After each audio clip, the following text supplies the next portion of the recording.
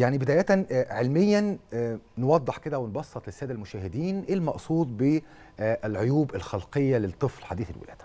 العيوب الخلقية في الأطفال في الأجنة والأطفال حديثي الولادة الجين بيحصل فيه خلل أو بيحصل طفرة جينية نتيجة بيئة غير مواتية لهذا الجين تؤدي إلى تغير شكلي في جزء أو أكتر من جزء في الجنين والطفل حديث الولادة يطلع الطفل الدنيا في خلل في حاجة واضحة فيه أو قد تكون غير واضحة في الأول وتظهر بعد كده في الشكل العام لهذا الطفل.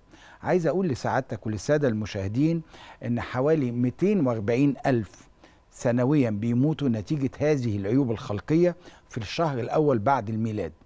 170 ألف طفل بيموتوا سنويا في الخمس سنين الأولى نتيجة العيوب الخلقية في الأطفال الأجنة والأطفال حديثي الولادة نسبة حدوث ال- الأطفال نسبة حدوث خلل في الأطفال يؤدي إلى عيوب خلقية بتصل من نص إلى واحد في المية عالميا. مم.